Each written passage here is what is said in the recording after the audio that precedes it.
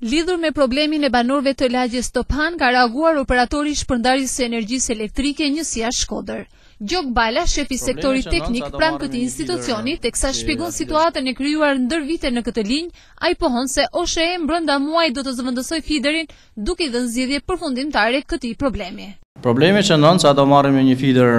që është fider fshatit, që shkon deri në Zogaj dhe shpërndahet edhe pjesën e Bërdicës, është linjë linjë ajrore, e cila ka probleme herë pas herë kur ka reshje e erë, por konkretisht këto familje kanë met pa u lidhë me pjesën tjetër të fiderve 20 kV, për arsyen se janë ndërpre investimet në periudhat e mëparshme, gjë e cila i ka detyru këta abonentë të jenë të lidhun me këtë linjë.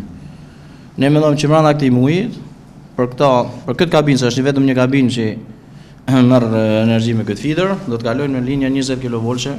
e cila do të bëhet investim i ri që do të përfundojë brenda muajit. Dhe do të zgjidhet edhe problemi i këtyne abonentëve. Situata për familjet e lagjes Tophan paraqitet shqetësuese pasi ndërprerja e energjisë elektrike ju krijon probleme edhe në furnizimin me ujë të pijshëm. Ndërkohë, operatori i shpërndarjes së energjisë elektrike është i vendosur që të zbatojë çdo urdhër e po ashtu të formalizojë qytetarët e Shkodrës në lidhje me furnizimin por edhe detyrimet për energjinë elektrike.